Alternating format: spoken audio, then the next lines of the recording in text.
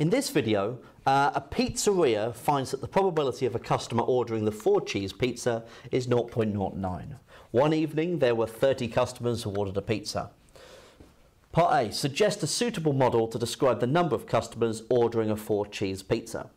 Okay, so uh, in this section, we are looking at appropriate distributions. So um, looking at whether uh, the distributions that we've looked at, the binomial distribution or the normal distribution, are appropriate. Now this one, um, we just need to look at what we've been given. We've been given a probability P, and we've been given a number of customers, 30. Okay? So the fact that you've been given an N and a P is screaming out it's a binomial distribution. Okay? Um, it also makes sense that um, you could model it using uh, a normal distribution, uh, a binomial distribution rather, um, because uh, either a customer ordered a four cheese pizza or they didn't. Okay, so you've got those two options. Um, the question of independence, um, whether uh, the probability of one person ordering a four cheese pizza is uh, independent of somebody else, uh, we'd have to assume that independence in order for the binomial to work. So we'd be looking at x being a binomial distribution with n as 30 and probability 0.09. Okay. Now, in the second part, explain why a normal approximation would not be appropriate. Well, you can look at the mean and variance of the normal distribution that you would get if you approximated it.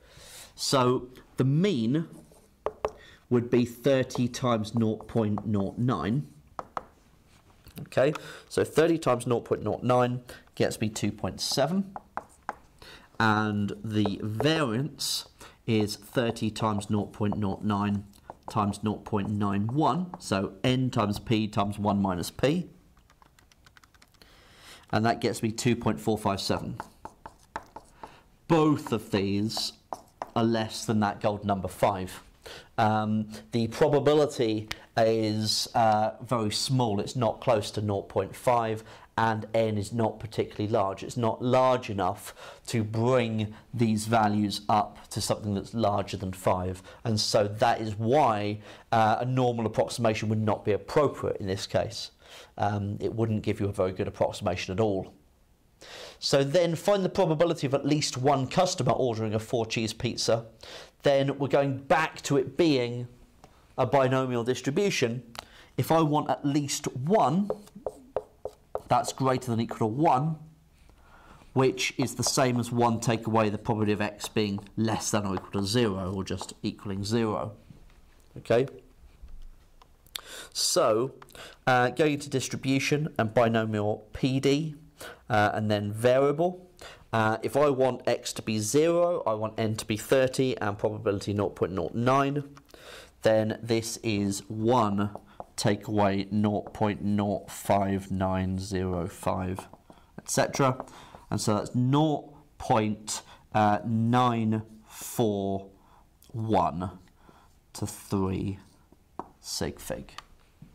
Okay, so there's a 94.1% chance uh, that at least one customer will order a four cheese pizza.